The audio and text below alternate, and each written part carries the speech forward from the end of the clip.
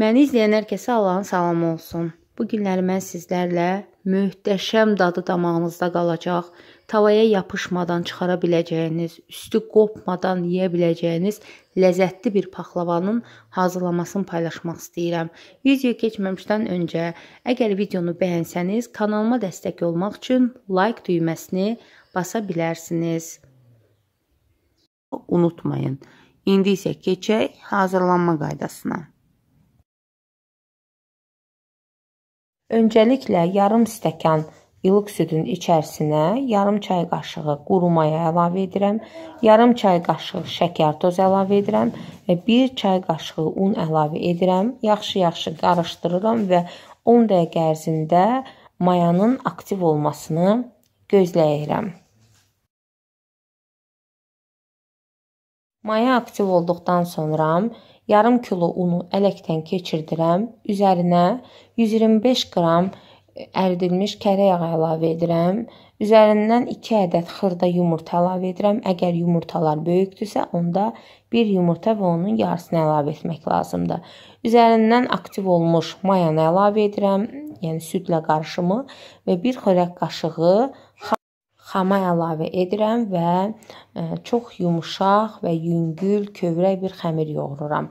Xamanın əvəzinə qeyd edim ki, e, bir xörək qaşığı yağlı qatıq da əlavə edə bilərsiniz. Yəni əgər yaşadığınız yerdə xama tapmırsınızsa, onda xamanı qatıqla əvəz edə bilərsiniz.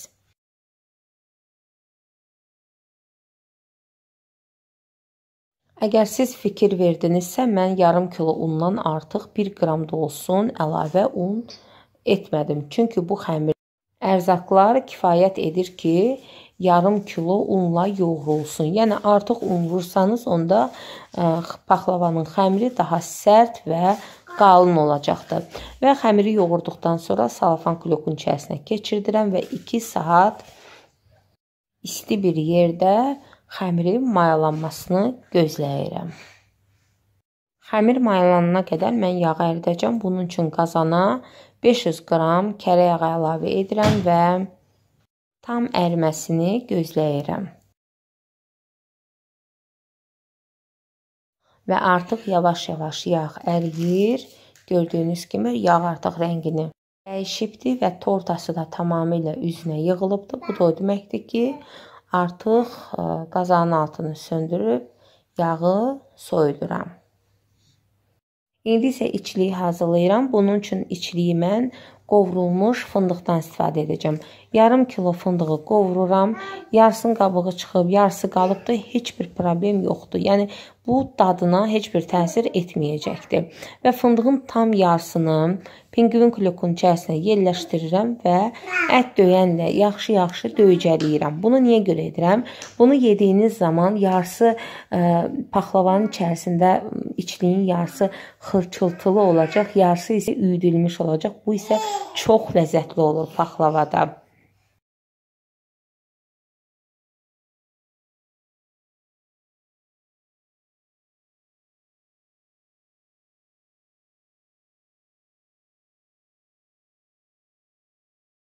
Və gördüyünüz kimi fındığın tam yarısını bu cür yarı irili xırdalı saxladım və qalan hissəsini də fındıq üyüdəndən keçirtdim və hər iki fındığı bir-birinə qarışdırdım.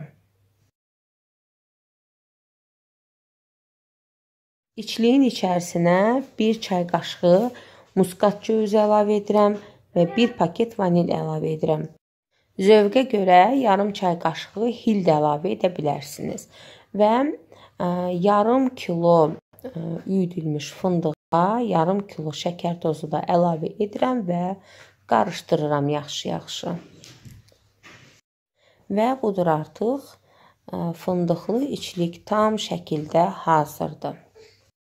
Bu arada 2 saat keçdi və xəmir çox gözəl şəkildə mayalanıbdı. Bunu videodan da siz görürsüz ki, xəmir çox gözəl, yup yumşaqdır və çox gözəl bir paxlava çıxacaqdı bu xəmirdən. Və mayalanmış xəmiri 12 hissəyə ayırıram. 12 hissənin 2 hissəsi qalan 10 hissəyə baxmış böyük olmalıdır və 10 gündə hamısı eyni bərabər ölçüdə olmalıdır. 2 böyük hissə isə paxlavanın alt və üst təbəqəsinə nəzərdə tutulur və kündələrin üzərini salvan klokla bağlayıram ki, qurumasın və elə həmin andaca böyük kündə ilə başlayıram paxlavanın ən alt hissəsinin açmağa. Bu o 2 dənə böyük ayırdığım kündələrdən biridir və biraz unlayıb açıram xəmiri.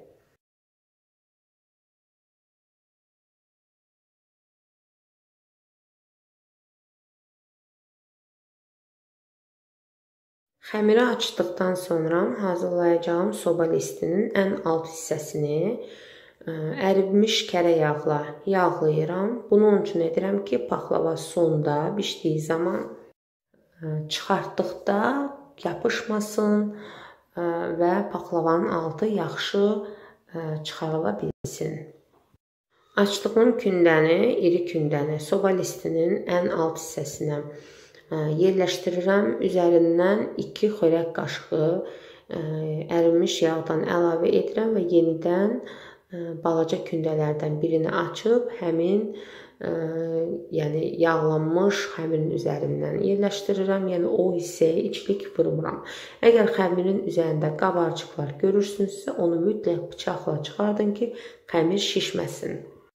İkinci qat xəmiri də yağladıqdan sonra 160 qram içlikdən əlavə edirəm və hər tərəfinə yayıram. Hər qata 160 qram içlik əlavə edirəm və eyni qayda ilə bütün kündələri yağlayıb içlik əlavə edib 11-ci qata qədər yığıram.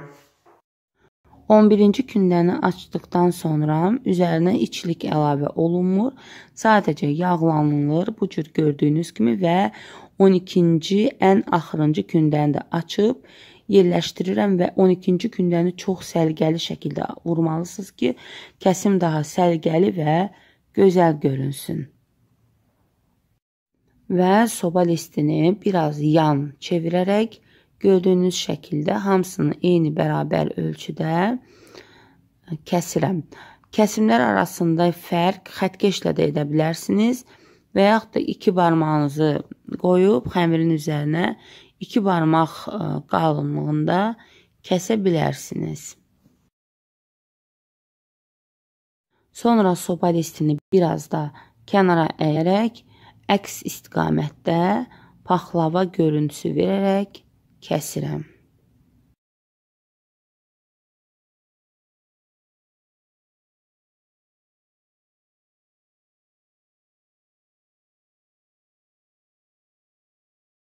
Paxlavanın üzərini rəngləmək üçün isə 3 ədəd yumurtanın sarısından, yarım çay qaşığı sarı kökdən, 1 xörək qaşığı duru yağdan istifadə edirəm.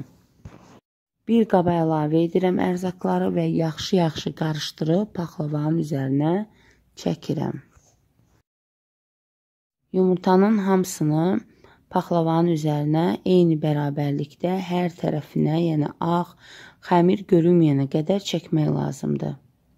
Yumurtanı çəkdik və paxlavanın üzərinin qapaqları, yəni belə deyim də, bişdikdən sonra açılmasını, qopmasını istəmirsinizsə, mütləq yumurtanı çəkdikdən sonra yarım saat kənarda saxlamaq lazımdır.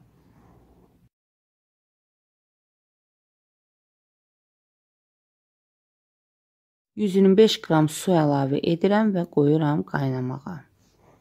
Bir dilim də qalın limon kəsib atıram şərbətə ki, şərbət xarlamasın. Şərbət qaynara düşdükdən sonra 3-4 dəqiqə şərbəti qaynadıram və qazanın altını söndürürəm.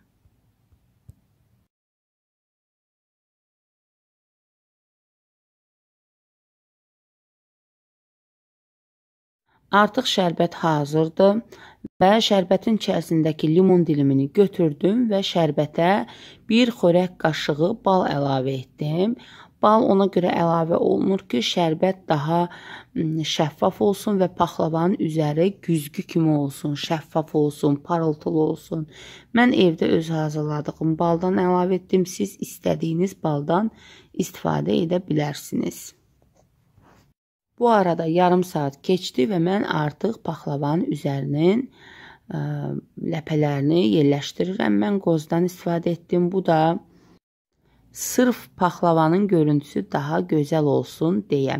Amma fındıqla da, badam, püstə ilə də edə bilərsiniz.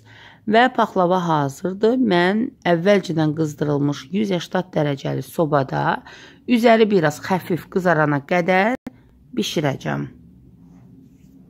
Və mənim sobamda 25 dəqiqəyə Artıq üzəri gördüyünüz kimi biraz qızardı və mən sobadan çıxartdım. Kəsimlərin üzərindən yenidən gedirəm ki, yağını əlavə etdiyim zaman e, yağ e, paxlavanın bütün qatlarına yeriyə bilsin, yəni dibinə qədər çökə bilsin. Və əvvəlcədən əritdiyim yağın qalan hissəsini də paxlavanın üzərindən, yəni hər tərəfindən keçirdirəm və e, sobaya yerləşdirirəm. E, sobanın dərəcəsini də 150 dərəcəyə endirirəm və 150 dərəcədə üzəri qızarana qədər bişirirəm. Və budur artıq 40 e, dəqiqəyə mənim sobamda 150 dərəcədə paxlava tam bişdi, üzəri tam qızardı və isti paxlavaya soyuq şərbəti əlavə edirəm. Çox xanımlar isti paxlavaya isti şərbət əlavə edirlər, amma bu tam yanlışdır. İsti paxlavaya sobadan çıxaran kimi soyuq şərbət əlavə etmək lazımdır. Və mən şərbəti əlavə edirəm və yenidən sobaya, sönmüş isti sobaya paxlavanı yerləşdirirəm və 2 dəqiqə həmin sobada saxlayıram ki, Şərbət tam canına çəkilsin paxlavanın və paxlavanın altı yaxşı çıxsın, yapışmadan çıxsın. Yəni çox xanımların ən yaralı yeri odur ki, paxlava yapışır. Bunun da ən özəl tərəflərindən biri paxlavanın xəmiridir. İkincisi tərəfi isə şərbəti əlavə etdikdən sonra sobaya qoysanız 2 dəqiqəlik onda paxlavanın altı rahat şəkildə çıxacaqdır.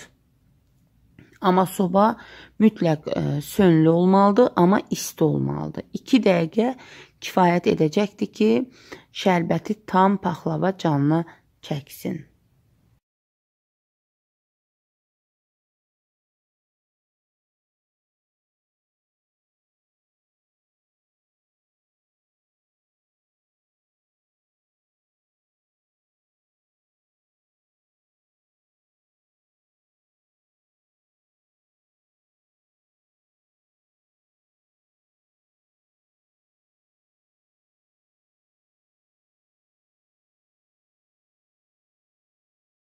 Artıq 2 dəqiqədə sobada qaldı.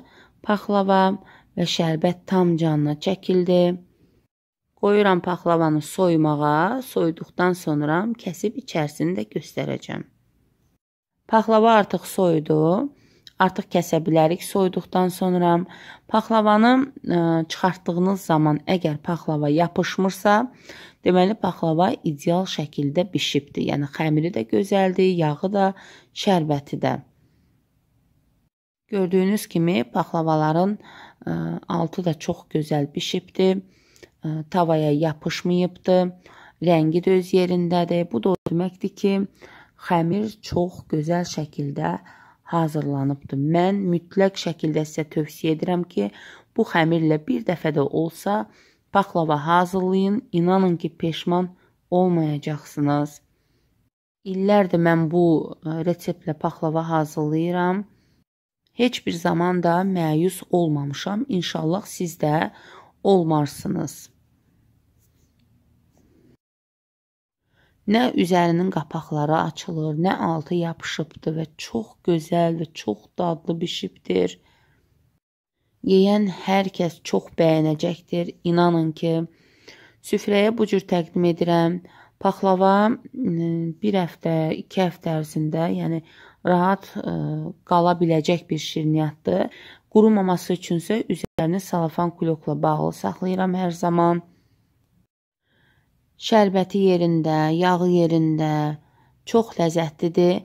Paxlavanı əgər kənardan bastığınız zaman, ə, e, baxın şərbəti bu cür çox xəfif şəkildə çıxırsa, deməli ideal şəkildə bişibdir paxlava. Bu qədər. Göz haqqınıza halal edin. Allah hər kəsin süfrəsini bol ruzi bərəkətli etsin. Heç kimin gözü, heç kimin qazanda qalmasın inşallah. Kanalımı bəyənirsinizsə abunə olmağı unutmayın. Sağ olun, salamat.